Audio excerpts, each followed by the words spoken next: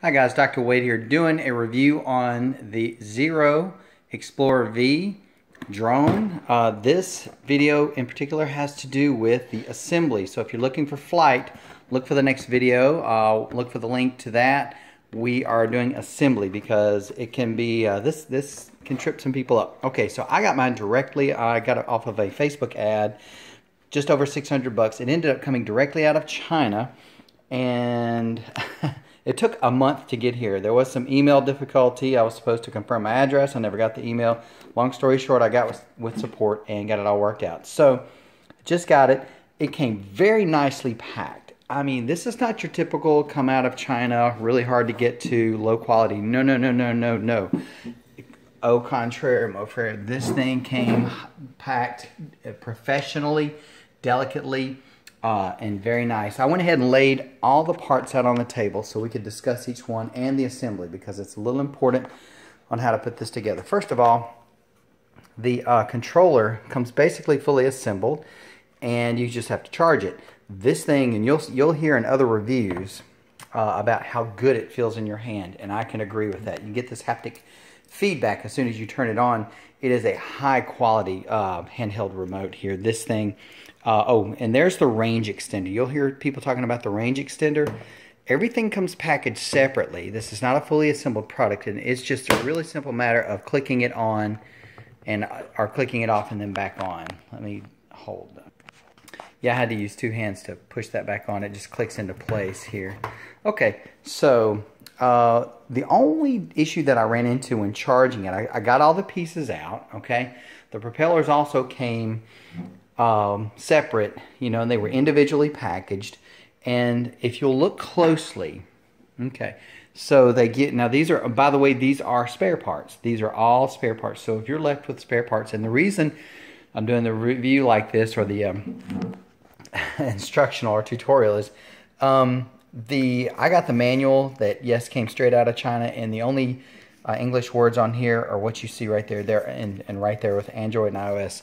There is nothing in English on this at all.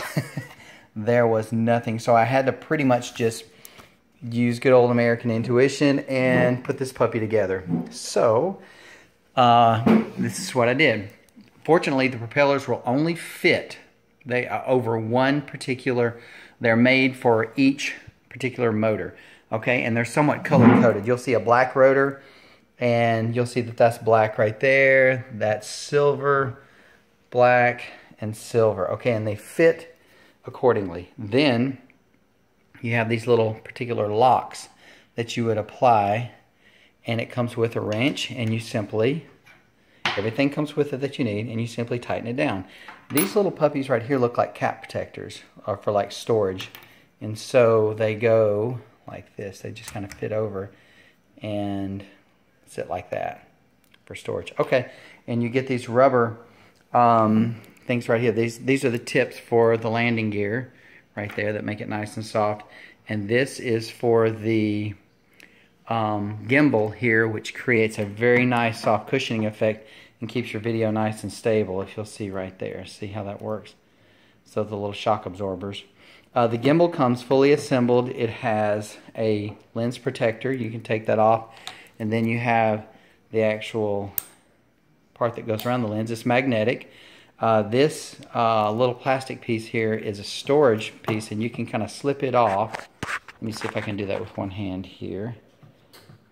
Kind of pull it forward and then you have the gimbal which is very nimble. I mean this thing it moves like really just nice and I mean it, it flows. This thing it, it, it's just beautiful. I can't wait to see this in flight. Um, okay you have the in-flight battery. You have this is the um, this is the charger set. Let's go ahead and hook that up. So it comes with a cable. So you hook the cable in. Cable actually goes into the charge uh, to the um, remote unit right here. And then the USB part plugs in here like that. And the only trouble I had was simply with the power port uh, it was a little bulky, meaning that it was I didn't get the green light. As soon as I plugged it in, I, had, I kind of had to jimmy with it a little bit. Okay, and then you simply plug this in right there. Okay, and you'll take the battery, and if you push this little button right here, it tells you what the charge is. So you can see this is fully charged at this time. And but the the way to charge is very simple. You simply set it on. You'll see the little male female parts right there. Let's see if we can get it. There we go.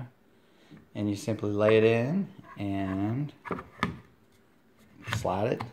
It connects, and you are good to go. It takes about a few hours to charge. That is simply a leash that you can use for the remote unit. Okay, now basically I just slid the battery in. You see it right there, and it, it doesn't have a snap. It just kind of has a snug fit. So you can see where the connectors are, the male and female part. And you simply take the battery and you slide it. You have to kind of keep it. I'm trying to do this one-handed here so you can see the video. But it's got a little track that it slides in. Uh, I can't do it one-handed, sorry. You have to pause it. Okay, it's back in. It's really not hard. I just can't do it one-handed. Okay. Okay, now to install the gimbal, which I'm not going to use. I'm not going to use the camera in its first flight for obvious reasons. Um, but, and uh, I think this thing weighs about 2.2, 2.5 pounds. So it's one of those that needs to be registered but you can see it's color coded as to where to connect it. So it's got this little slip in mechanism there and then a press and lock mechanism right here. And you can see that there's a release. You can see the release right there where it kind of moves up and down. Okay, now that's basically it. Okay guys, so be sure to watch uh, and look for my next videos on operations, uh, other tips and tricks, as well as flight instructions, okay? So great doing this review with you. Be sure to check for my links below that take you to where you need to go for the other good, uh, good videos with good value that will help you get the most out of your um, out of your drone here. Okay, take care. This is Dr. Wade. I'm out.